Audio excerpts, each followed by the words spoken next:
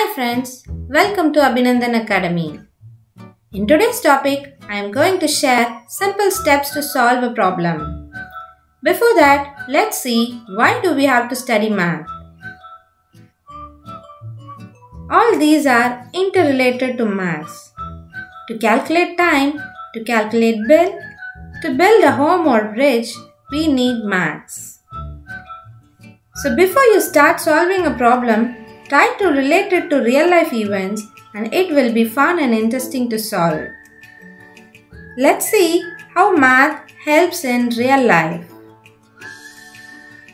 It sharpens your mind, it helps you to concentrate or stay focused properly, helps on calculation, and finally helps you to take right decision.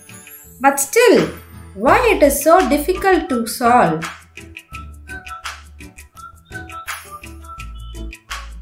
Because lack of understanding and lack of visualization. Here is a mind map to solve a problem. This shows the step-by-step procedure to solve a problem. If you see some errors or mistakes on a step, you can easily identify and rectify it. Let's see in detail.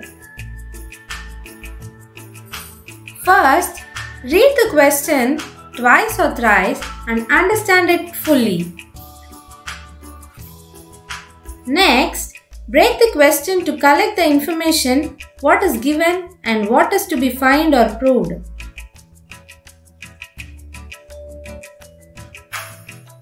Next, interrelated to the topic that you are studying with logical thinking.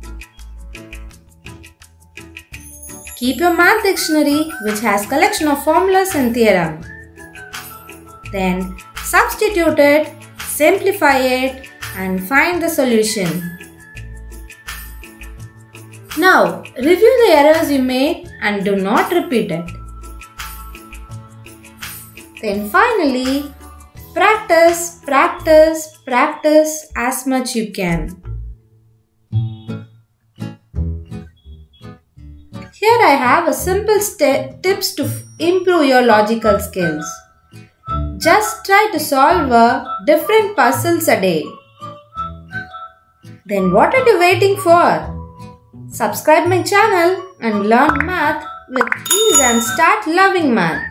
Click bell icon for regular updates. Thank you.